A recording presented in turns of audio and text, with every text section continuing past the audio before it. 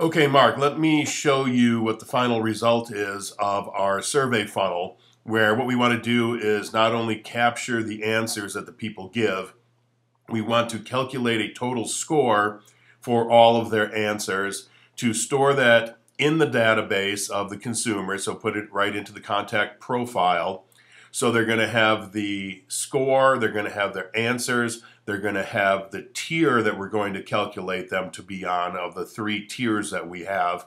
And then it's also going to store a URL for the page that their results will be on so that we can put then into an email the score, the, uh, the tier, and the URL so they can access it there as well as uh, being able to access it at the end of the survey itself. So let's just go through the survey and we'll just uh, hit some numbers here and then we're going to calculate the score. We're going to put in an email address and click sign up. Then bring us to the next page where it's going to tell us what our overall score was 13 and then here is where you'd have your analysis of what that 13 means. So let me just show you an overview of how this works. Here are the five funnel steps involved.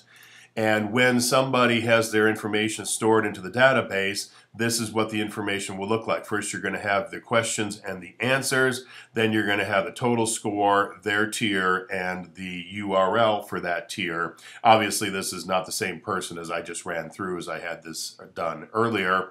And then we're going to set up under our automations uh, we're going to set up an email and in the email we're going to put in our merge tags so that this information will populate into the email. And then in the end the email will have that information populated into it. Of course, you put in your verbiage however you want it here to explain what this means. And then there will also be a link that is clickable that will take them back to the page where again it will have uh, here here it will have to give a range on the score because we can't actually pass the score through with it and below that it will have again the results and the um, what those results mean. So there you go. I think we finally got it set up the way we wanted it to be. And if you got any questions, just reach out to me.